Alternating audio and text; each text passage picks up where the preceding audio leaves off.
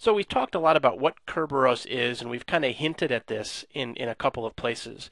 But you need Kerberos because of that delegation of authentication and because of those hops that take place in many applications today. Let's take a, a look at an example of how this would be. So again, taking into account that front-end web server, if I connect to it via basic NTLM and that server needs to go to another layer in the application, in this case, you know, just by coincidence it happens to be K2.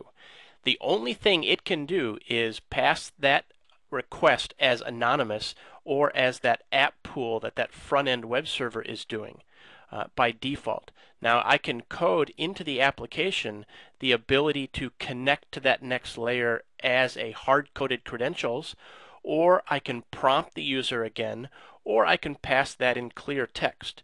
Now none of those options are particularly great ideas in most cases, but uh, you know if if that's the need that it fills, then that's the need that it fills. And at that point, I'm kind of stuck. What can I do? I can't go to, to other layers and, and impersonate that person and have that auditability layer that says this request was made by this person, etc. So in a Kerberos world, I connect to that front end via Kerberos, and it has the ability to now go to all these back end layers and impersonate me. And I have that ability to then audit that and know that even though the request came from my server, the request was initiated by this particular person, and we know that that happened because of the ability of Kerberos and the encryption that it provides. So some basic requirements.